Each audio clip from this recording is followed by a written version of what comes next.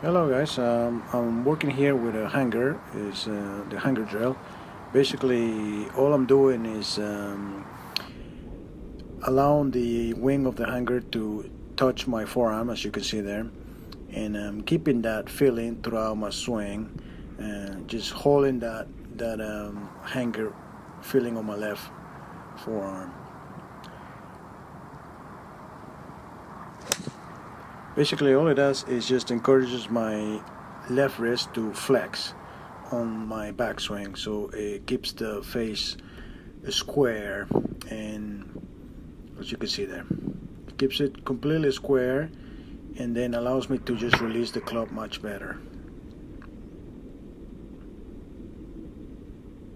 Especially me that I'm when you know be struggling with an open face so this drill has really helped me tremendously obviously if you already have the, the face shut this this wouldn't do anything but uh, if you play with an open face this will definitely change your your game completely I would say. Thanks for watching guys and make sure to subscribe